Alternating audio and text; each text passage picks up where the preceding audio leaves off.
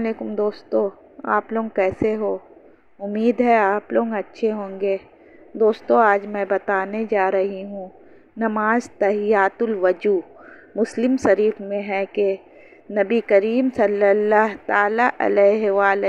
अलैहि वसल्लम ने फरमाया कि जो शख्स वज़ू करे और अच्छे से वज़ू करे और ज़ाहिर व बातिन से मतवजा होकर दो रेकात नमाज़ तहियातुल वज़ू पढ़े। इसके लिए जन्नत वाजिब है।